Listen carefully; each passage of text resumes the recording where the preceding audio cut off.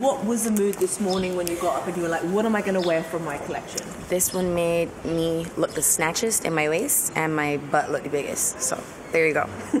it literally came down to that.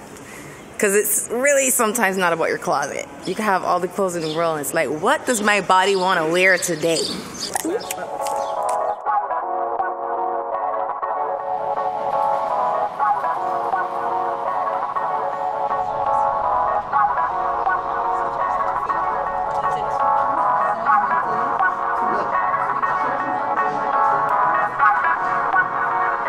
Everything that I learned in the past was to lead me up to this moment. I first started off with being, being the endorser of brands and just lending my, my likeness and my face to fashion brands and then I started collaborating with them, whether it was on a sunglass with Dior. Then I went to Puma and I had a much bigger role there. I got to design and have people really see what I'm made of as a designer and really just respect the work that we did. It's new. I, I've never done anything like this. This is completely different. This is like from scratch. You don't plug in to somebody else's thing that's been there. Like you have to create that DNA and make sense of what the brand stands for. It's different. It still is. Even launching it is probably the most expensive thing I've ever done in my life. When Rihanna first told me I was moving to Paris, I was excited for her. I was excited for what it meant for for so many people, like big outside of us. You know,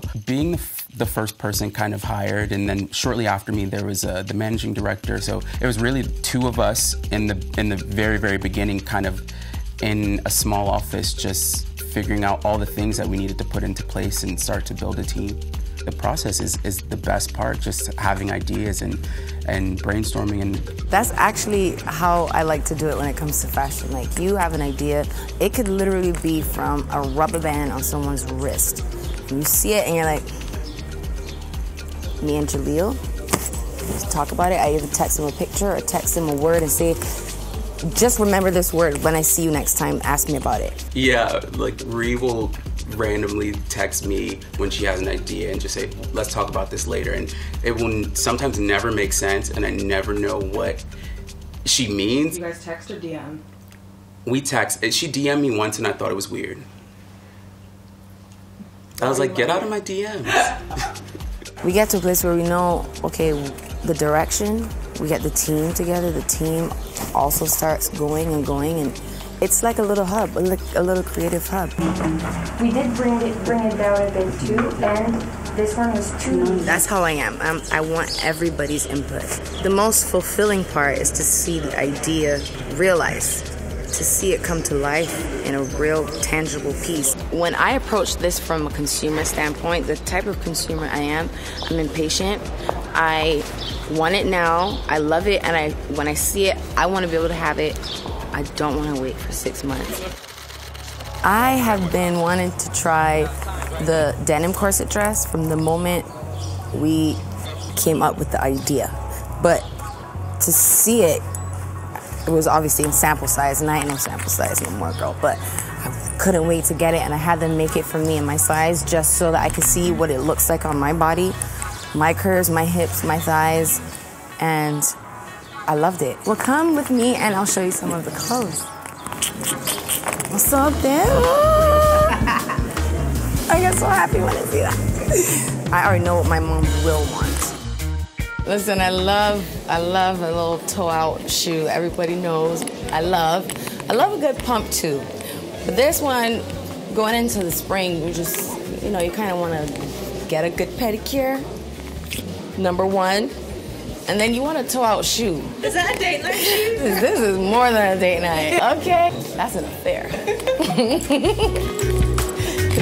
it's great to have that that cultural balance with with your boss, you know, and just someone that that really understands what you're saying.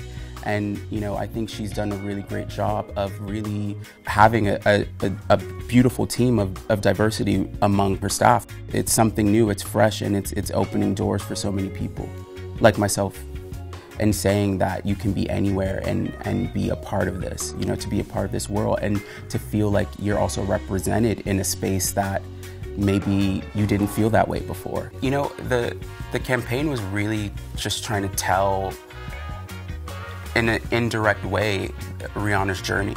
You know, starting from Africa to Barbados to New York to now Paris. It, it's it was really to to have just a nod to that. I love though the process of figuring out what the new idea is going to be. Where are we going next? It's like I love that about music. I love that about fashion.